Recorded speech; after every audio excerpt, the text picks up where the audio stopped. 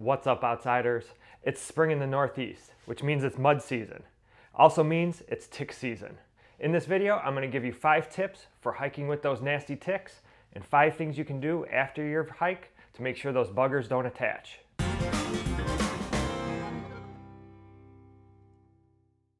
I'm Mike and this is Outside Chronicles.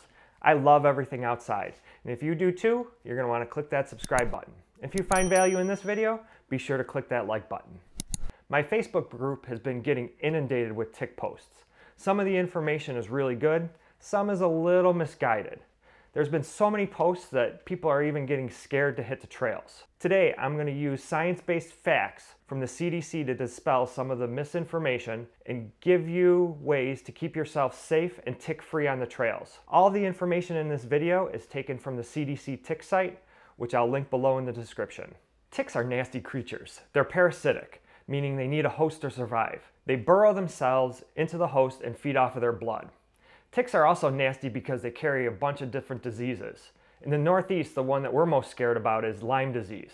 Not all ticks carry Lyme disease, however. For example, the American dog tick is not known to carry Lyme disease. The primary culprit and carrier of Lyme disease is the black-legged tick, Ixodes scapularis. Black-legged ticks pick up Lyme disease from their hosts, usually in the larva stage and most commonly from the white-footed mouse, which are natural reservoirs for the Lyme disease bacteria. There's been some pretty cool scientific studies showing the, a relationship between the abundance of acorns to the abundance of white-footed mouse to the abundance of ticks and Lyme disease cases. Ticks can't fly or jump, so they hold on to leaves and grasses by their third and fourth pair of legs. Then they outstretch their first pair of legs, waiting for a host to brush up against them.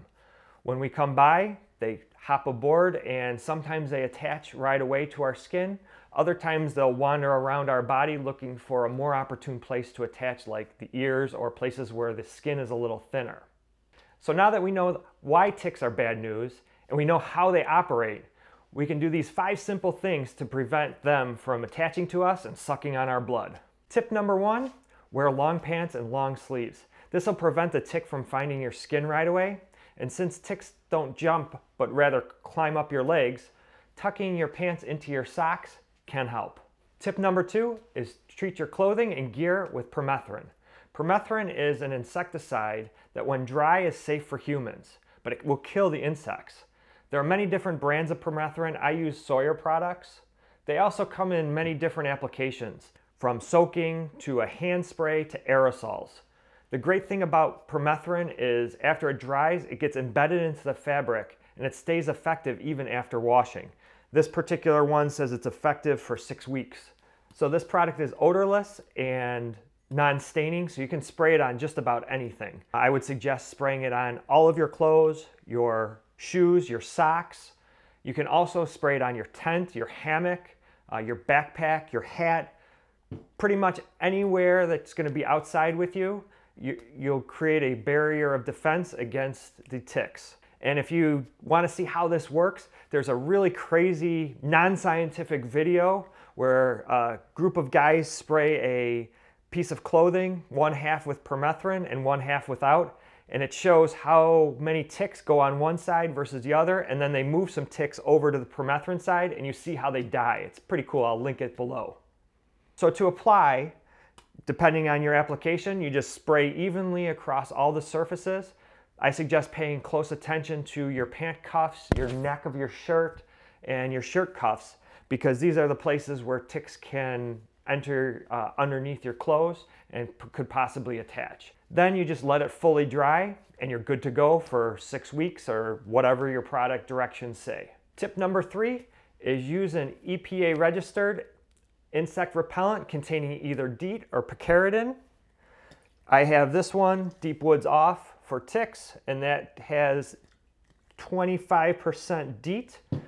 And then there's this also this one here. This one has 15% picaridin made for ticks.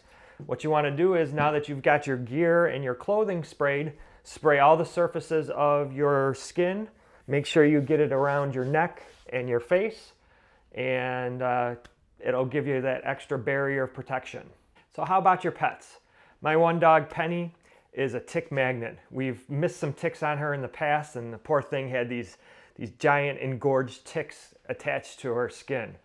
The CDC doesn't really give any guidelines for animal products. They say to check with your veterinarian for the best products for your pet and your area.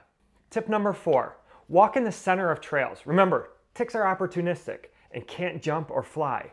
So if you limit your contact with the margins of the forest, you'll limit brushing against those questing ticks. Tip number five, avoid wooded and brushy areas with high grasses and lots of leaf litter. Select wider trails and do not go bushwhacking during peak tick season. So those are five ticks that you can take advantage of before your hike or during your hike. But what about after your hike? So here's five things that you should do when you get home. Tip number one is check your clothing for ticks.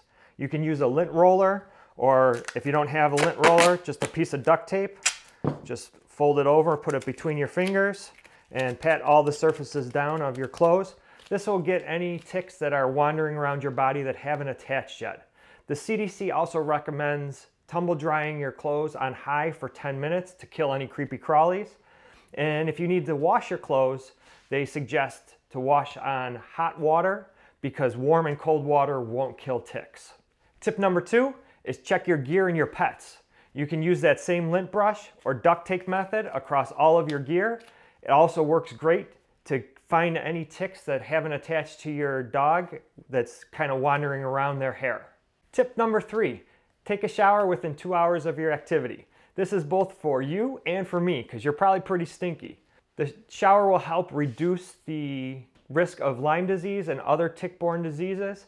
It'll also help you wash off any of those ticks that are wandering around your body that haven't attached yet. It's also a good opportunity to do a tick check, which leads me to tip number four. Check your body and your pets for ticks. The CDC provides these charts as a guide for common places ticks like to burrow. They go to warm and protected areas of your body, such as your armpits, your groin, your ears, your belly button, and your waist. Same goes for your pets. Ticks like places that are protected. So they go between the legs, between their toes, can go even under their eyelids, by their collar, uh, around their ears, and around their tail. Tip number five, if you find a tick burrowing in your skin, remove that bugger immediately. The CDC recommends using fine tip tweezers and to remove it as soon as possible from the surface of your skin. What you do is you pull upwards with a steady, even pressure. You don't want to twist or jerk the tick. This can cause the mouth parts to break off and remain in the skin. If this happens, don't worry. Remove the mouth parts with the tweezers, and if you're unable to do that, just leave it alone and the skin will heal. After removing the tick, thoroughly clean the bite area and your hands with rubbing alcohol and soap and water. Never crush the tick with your fingers. Dispose of the live tick by putting it in alcohol, placing it in a sealed bag or container, wrapping it tightly in tape, or just flushing it down the toilet. The CDC recommends just fine tip tweezers. I've found that these tick keys also work really well, both on me and my pets. Some studies have shown that these are effective, but the fine tip tweezers are still the gold standard for removing ticks. And if you develop a rash or a fever within several weeks of removing the tick, make sure you see your doctor. Be sure to tell your doctor that you had a recent tick bite where it occurred, and where you most likely acquired that tick. And if you've heard of remedies like painting a tick with nail polish or using petroleum jelly or heat to make it detach, these are all old wives' tales and folklore. You shouldn't use this. Your goal is to remove that tick as quickly as possible and not wait for it to detach on its own. Another thing that's kind of come up is should you get your tick tested for diseases?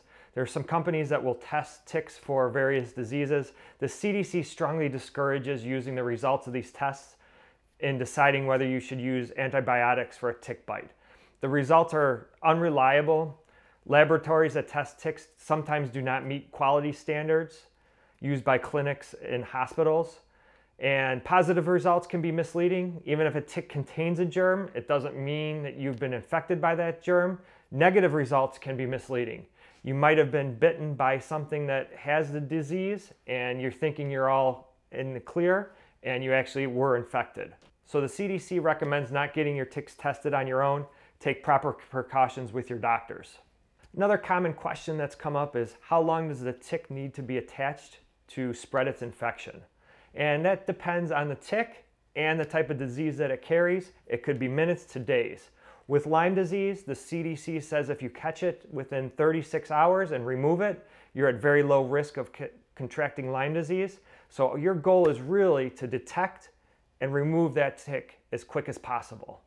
Ticks are out there, they're always gonna be out there, so don't be scared to hike. If you do those five things to prevent ticks from getting on your body, you're gonna be way better off, but inevitably, ticks are gonna get on your body. And if they do, use those other five tips to make sure you check all the areas for ticks, any wandering ticks, and if you do get a tick, be sure to remove it immediately. And your risk of getting Lyme disease will be greatly reduced. And if you do get a tick bite and you start getting a rash or some symptoms, be sure to check with your doctor. So I hope you liked this video. I hope you found some value. If you did, click that like button. If you want to see other outdoor adventures, gear reviews, how-tos, be sure to subscribe to my channel. That's it for now. I'll see you guys outside.